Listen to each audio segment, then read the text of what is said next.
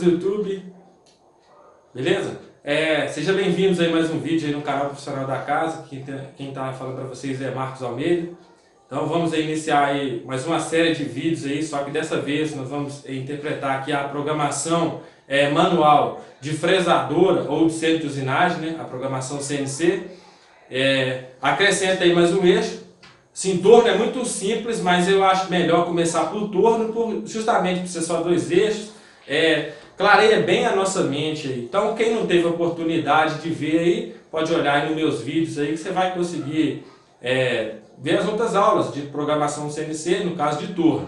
Então, sem mais delongas, né? Vamos aqui então para a nossa aula de hoje. Então, para iniciar, não tem como, né? Para quem tá, quando a gente está pensando em, em programação CNC, é, eu não posso aqui já começar aqui do avançado. Então, tem que começar do básico, entendendo que todo mundo está partindo do zero. Então, para iniciar aí, então aqui ó, a primeira matéria, que é a mais importante, essa é dominar o plano cartesiano. O que é o plano cartesiano?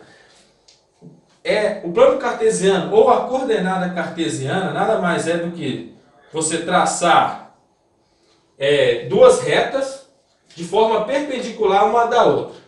Ou seja, a 90 graus uma da outra, né? Beleza, então. Para nós entender que como que vai ficar isso. Então, aqui seria em vista de cima esse plano. O meu Z seria como se fosse o meu pincel aqui, indo de encontro, nesse caso, no caso aqui, o quadro. Ou a mesa da peça, né? a mesa da ferramenta. Ou de encontro à peça. Então, o movimento, e, é, como a gente, é, por exemplo, no, no caso do torno, que é somente dois eixos, né? X e Z, o Z sempre em direção à peça, né? Em direção no sentido de ao encontro da placa, né? Ao encontro da fixação dessa peça. Então, o eixo Z né, seria como se a, placa tivesse aqui embaixo, né? Ah, mais ou menos assim, a, a placa tivesse aqui, ó, prendesse a, a peça aqui embaixo, né? Mais ou menos assim. Só para entender mais ou menos. E o eixo X, né, o eixo, no caso seria o eixo transversal, né? O eixo que está responsável aí pela, pela parte é, cilíndrica desse torno, do, da, dessa peça. Então, acrescenta aqui, né, na vista isométrica, o eixo Y. Né? Então, eixo é a determinação de movimento, ou seja, é tudo aquilo que tem um movimento físico na máquina. Por exemplo, pode ser um eixo de rotação, pode ser um quarto eixo lá, que é um eixo que está é, como se fosse um, um movimento de rotação dessa peça é, um eixo de movimento longitudinal, que é o caso do eixo X, de movimento trans, transversal, que é o caso aqui do eixo Z, e do eixo Y, né, transversal, e esse movimento superior, ou seja, de encontro à peça, o eixo Z. Então, é para você, uma forma aí que os professores ensinam, né, que é muito ensinado na escola, é você fazer isso aqui com a mão. Então, né, deixa eu fazer aqui com a mão esquerda. Então seria isso aqui, ó. Você olhando. Como se você estivesse aqui na máquina. Então esse dedo aqui, ó, seria o eixo X, o transversal aqui o eixo Y e o eixo Z é sim, como se a mão que fosse a peça, né, o que vem em direção à sua peça. Então esse para cima Z, esse para frente Y e para o lado aqui o eixo X. Beleza então. Então, de vista de cima seria isso aqui. É é da parte da vista de cima que você vai programar essa peça, né? Então, como que vai funcionar aqui? Primeiro você traçando o plano, é, você pode determinar, você tem que pensar antes de usinagem, pensar em processo, né? Geralmente quem trabalha com usinagem já conhece já conhece, vai trabalhar com fresa CNC, já tem um conhecimento aí de, das fresas convencional, de torno convencional, isso é muito importante. Então ter esse conhecimento básico de usinagem antes de iniciar na programação CNC. Pode iniciar? Pode, né? É muito fácil, só que mais importante do que a programação é você conhecer os parâmetros técnicos relacionados à usinagem. Então, vamos aqui, ó. Então vamos determinar uma origem para essa peça. Nesse caso aqui, a origem nossa está aqui, ó, né? Ou seja, onde que é? O meu zero em x e o meu zero em y, né? Seria isso aqui, ó. Se fosse para mim programar, seria x0 e y0, né? x0 e y0. Então, pessoal, a partir do momento, isso aqui é meu zero. Então, para a direita aqui é positivo, para a minha esquerda, negativo. Para cima, ou seja, para frente positivo e para baixo negativo. E o eixo, por exemplo, aqui de encontro na peça, para baixo seria negativo e para cima positivo, né? Seria esse aqui, ó, positivo, né? Se continuasse aqui, seria Z negativo. Então, vamos aqui, ó.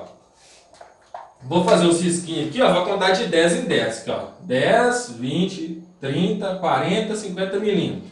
10, 20, 30, 40, 50 milímetros. 10, 20, 30, 40, 50.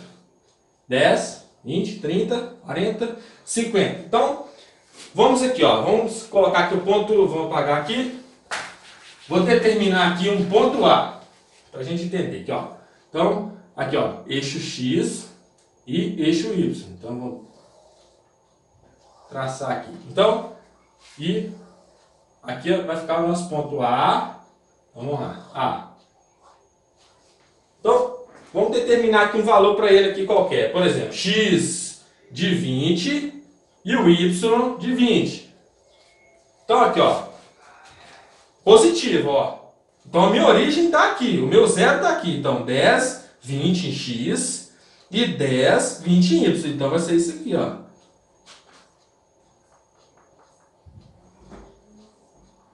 Aqui está o meu ponto A, ó. 20 em x e 20 em y. Vamos lá ao ponto B. Para a gente entender, ó. 20 em x e menos 20 em y. Né? Tá bem simples aí, mas é, é isso mesmo. Então, ó, 10, 20 em x, então aqui, e menos 20 em y. Ó. 1, 2, 3, tal, 10, 20. Achamos aqui, ó. Então tá aqui o nosso ponto B, ó. Olha, então aqui nós já achamos o nosso ponto B. Vamos pro ponto C aqui agora. É menos 20 em y e 0 em x. Então, 0 em cima que da linha aqui, ó. E menos 20 seria o meu ponto, seria aqui, ó, 10, 20, né? Lembrando que cada risquinho desse aí é, seria 10 milímetros. E vamos aqui para fechar o nosso ponto D. Vamos achar aqui novamente aqui, deixa eu ver aqui, menos 20, não, menos 30 é em x e 40 em Y. Aqui, ó. Então, você vem aqui, ó, conta do zero. 10, 20, 30 em X e 40 em Y. 10, 20, 30, 40. Então, você vem aqui, ó, traçar aqui, ó.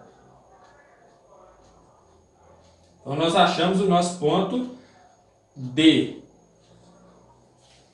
Então, aqui, olha, de forma absoluta, ou seja, que parte todos da mesma origem, do mesmo zeramento, aonde que você fez o importante, né? Seria absoluta, G90.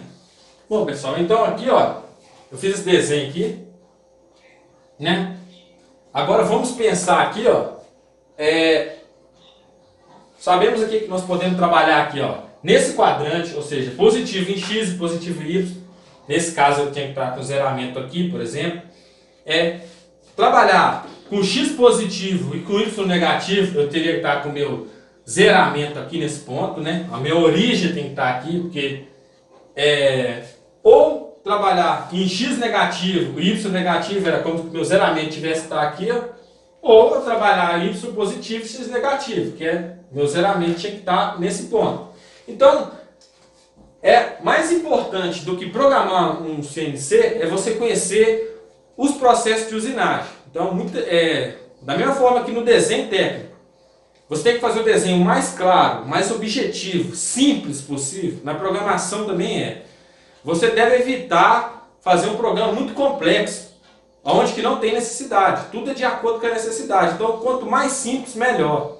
A gente tem que partir de, de, dessa ideia que o importante não é você demonstrar conhecimento, fazer um programa que ninguém entende. Não, o cara conhece muito. Não, muito pelo contrário é você programar o mais simples.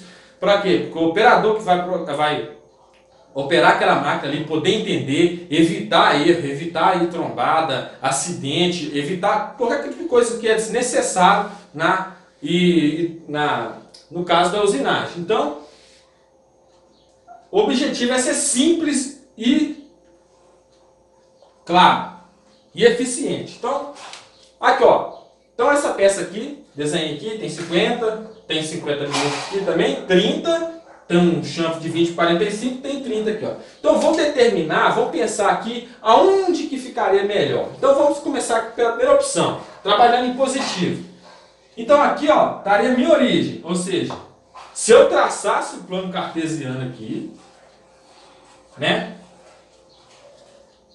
Seria mais ou menos isso aqui, ó. Né? Se eu traçasse ele aqui, ó. Significaria que o meu plano cartesiano estaria aqui, ó. Aqui está meu x positivo, meu y negativo, meu y positivo, ó, meu y positivo e meu x negativo. Então aqui, ó, vamos apagar aqui que ficou um pouco confuso. Né? Não avacalhar o desenho para a gente interpretar direitinho. Depois eu dou um outro exemplo. Então vamos somente deixar esses dois aqui, ó. Então, tá aqui a minha peça, né? O meu plano cartesiano aqui, ó.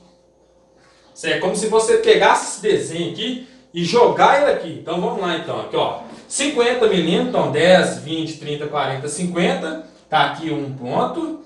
E esse aqui de 50 também, 10, 20, 30, 40, 50, tá aqui outro ponto. Não tá assim perfeito, né? 30 milímetros, ó, 10, 20, 30. Tá aqui um outro ponto. É esse aqui de 30 de altura e no 50. Aqui, ó. Então seria mais ou menos isso aqui, ó. Então vamos ligar esses pontos. Né? Seria mais ou menos isso aqui, ó. Né? Forma bem simples, seria mais ou menos isso aqui, ó. Então vamos lá aqui então, vamos entender. Eu peguei meu desenho, a minha origem aqui, ó, eu determinei minha origem e joguei ela aqui, ó, em cima do plano cartesiano. Pode fazer isso. Tá aprendendo, não tem problema. É importante, talvez para quem já conhece, já tem, consegue olhar para o desenho e projetar no desenho esse plano, mas você pode fazer isso também, pode desenhar, pegar um rascunho, isso não é vergonha. Muito pelo contrário, é melhor fazer certo, fazer uma vez certo, do que errar por causa de uma coisa simples aí. Então, fica aí a dica. Então vamos aqui, ó. Vamos traçar aqui, ó. Hum, os meus dois eixos, né? Que no caso aqui, por enquanto, o x não entra. Então, x e y, e aqui seriam os meus pontos né? Ponto A, ponto B, C, D e meu ponto E. Né? Seria isso aqui, ó. Então vamos lá então, vamos determinar aqui agora. Então aqui, ó, vai ser meu ponto A. Aqui vai ser meu ponto B, C, meu ponto D, meu ponto E.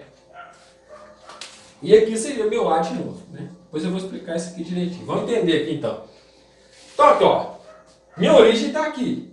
Então daqui parte o meu zero PS. Ou seja, meu zero em X e meu zero em Y. Então de cara, X0, Y0. Agora eu tenho que fazer o movimento para B. Ou seja, eu tenho que sair do ponto A e deslocar até o ponto B. E parar no ponto B. Porque ela não para mim fizer uma curva ou mudar de direção, tem que ter um ponto de parada, ou seja, ela vai até daquele ponto e daquele ponto até outro. Então, o meu ponto B, 50 em, em zero, ele permanece em, em x, ele permanece em zero, não tem movimento em x, né? Aqui, ó, não tem movimento aqui no eixo x. Então é zero. x, zero. Agora tem um movimento em y, ó. y 50. Então, 10, 20, 30, 40, 50. Que eu movimentei aqui para o ponto B. Vou apagar aqui para vocês entenderem. Então, de cara, comecei aqui no meu ponto A, x0, y0. Fui para o meu ponto B. B, 0 em x e 50 em y. Vamos para o meu ponto C agora, aqui ó. 30 em x, tem um movimento aqui ó, x, da longitudinal. Transversal ele continua no mesmo lugar. Então, continua em 50. Então, aqui, ó. Meu X é de 30 milímetros e permanece em 50 milímetros. Então, seria isso aqui, ó. 10, 20, 30. Aqui, ó. Então, 30 milímetros. Tá aqui o meu ponto C. Vamos lá para o ponto D agora. 20 por 45 significa que tem 20 milímetros aqui, né, nos catetos, ou seja, ou 30 aqui também, então. Então vamos lá, x, o meu em x 50, ó. x de 50 e meu y positivo. Continue, agora vai para 30, ó. 50 para 30. Então ela meu ponto D, ah, saiu do ponto C e foi para o ponto D. Ó, né? Fez isso aqui, ó, do A para o B, do B para o C e do C para o D. Agora vamos aqui para o nosso ponto E, que é fechando o, fechando os pontos, não fechando o perfil, porque falta ainda. Então, ó, meu ponto D permanece em 50, então não muda. E o meu y vai para zero. Então aqui, ó, continue 50. Então aqui, ó, continue 50 e o meu y é zero. Então aqui, ó, eu desço aqui para esse ponto aqui, ó. O meu ponto é.